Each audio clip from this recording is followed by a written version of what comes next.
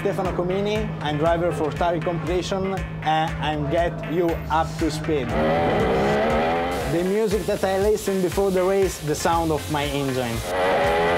My proudest moment when uh, I was Euro Champion Mégane Trophy in Silverstone. Favorite overtake was, I think, in Monza this year in TCR Championship uh, with uh, Gianni Morbidelli in Shanghai. The last lap uh, and the last corner. The last time that someone played the joke to me was yesterday that I was sleeping on front of the box and uh, the, my mechanics came and opened the clears and I fall. A race that I, I will love to do can be rallycross. I think it's something for me.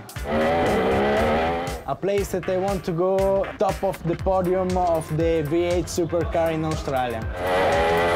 Biggest risk yesterday when uh, I look at uh, a Russian girl with my girlfriend behind me.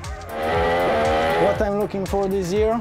The title, title of TCR and now you are up to speed.